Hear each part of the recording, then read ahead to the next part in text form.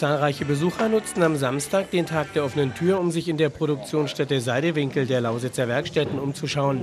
Sie nahmen an Werkstattführungen teil und ließen sich die einzelnen Bereiche von der Töpferei bis zur Metallverarbeitung genauestens erklären. Im Außenbereich wurden auf dem Werkstattmarkt viele Produkte aus eigener Produktion angeboten. Hier konnte man Weihnachtsdekorationen kaufen und sich natürlich auch kulinarisch verwöhnen lassen.